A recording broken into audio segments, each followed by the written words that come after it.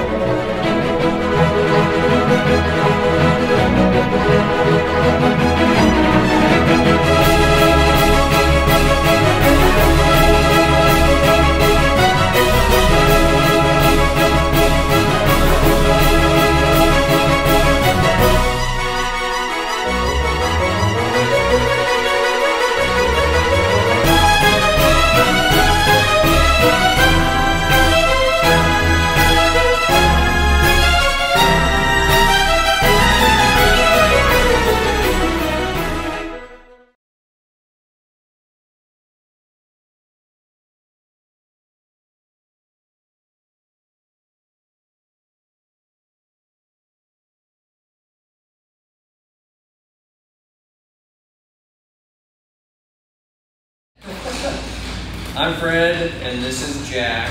Uh, Jack is five months old and has been with off-leash canine training for 14 days. And as you see, he's a lovable, adorable little teddy bear, but is doing great. And I'm excited to see the continual progression. But he's done a great job, learned a lot over the last 14 days.